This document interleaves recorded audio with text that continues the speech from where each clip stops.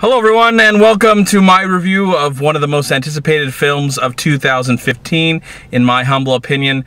This is my review of The Walk, which I just saw in IMAX 3D. Not true IMAX, but uh, it was in 3D, more of a diet IMAX or IMAX Lite. Anyways, I've been so excited to see this movie for over a year now. I'm a big fan of Robert Zemeckis and Joseph Gordon-Levitt, and I love this story. This is an incredible story about a man, a French man named Philippe, Philippe Petit. Philippe Petit.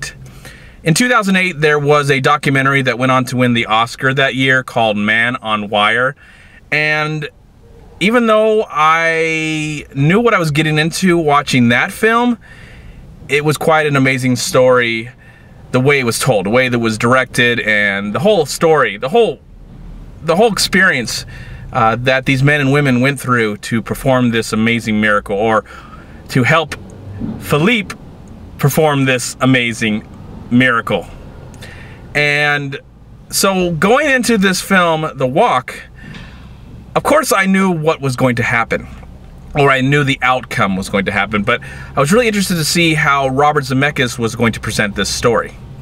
And what I'll say right now is that really the only way to experience this movie, even if it's not in the true IMAX format, is in the IMAX 3D format. You need to see this film the way it is meant to be seen.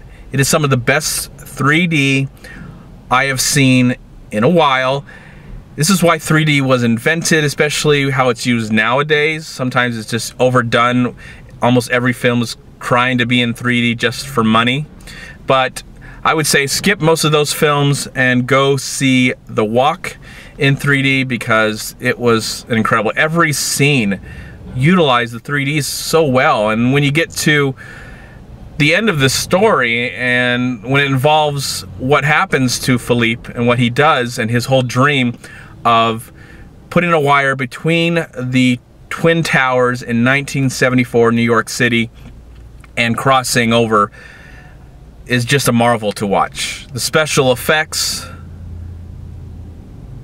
it just looks so real and so vibrant. You, you watching this movie, I literally believed that they brought back the Twin Towers. They built them, they shot on them, they used them. That's how good this film looks. It's perfection with the way that it looks and the way that it's presented for the most part. I do have some issues with the narrative and the tone at times. It is presented in a unique way where Joseph Gordon-Levitt, who's playing the main character, is talking to us and narrating his journey, his story, his life to us as he's hanging out on the top of the Statue of Liberty. And I would say 80% of the time, that really works really well. There was a few moments where I don't know if it just felt a little cheesy, but this Philippe guy, I'm not saying he's cheesy, he's just really strange and and and unique himself. I mean, uh, so maybe they, they, they did some of that because of his outrageous weird personality and his his look at, at life and his whole dream and focus of what he wanted to do in life. And again, I saw the film Man on Wire. I have seen this film now and it didn't bother me that I knew what was going to happen in this movie. Just because I think Robert Zemeckis who's a fabulous director. Another reminder of why he is one of the best directors. Of course, he won an Oscar 21 years ago for Forrest Gump, made one of the best trilogies of all time with Back to the Future, and in my opinion, has made has, has had such an amazing career where I can only say he disappointed me once. I don't feel like bringing up that disappointment because I love his filmography. Even the one film that I don't want to mention, whatever. I'm going to mention it. What Lies Beneath, 2000. Don't like that film at all. But the rest of his movies, he is just incredible when it comes to his direction, his understanding of uh, what the actor has to do in his relationship with the audience, with the story, with the material, with the characters. You really feel emotionally involved in this story. Uh, and Joseph Gordon Levitt, I was really worried of how he would betray, betray, betray, betray, betray how he would perform with this French accent. Uh, the movie, uh, some of the time, is in French with subtitles. And I really believed, after a while, I really believed that Joseph Joseph Gordon-Levitt was this man. The way he talked, the way he performed. Now that I've seen this film, I'm very interested to see how this movie got made. You know, we, we've seen the documentary of how the real story happened. We've seen this, uh, this, this dramatic story with The Walk. Now I want to see, hopefully, when the Blu-ray and DVD, whatever comes out, we'll get to see an in-depth documentary of the making of this film because a lot of amazing work went into the cinematography. The movie just looks incredible. I like some of the use of the colors, especially when it's telling this this story. Uh, there's a nice sequence when we get to know him as a younger man, and it's kind of using some black and white and some colors to emphasize certain things, and that was really cool as well. I do want to highlight the amazing score again. Alan Silvestri he has almost worked, almost, I don't, maybe not every film, but he has almost worked with Robert Zemeckis on every film that he has done almost. And this is another great score by him.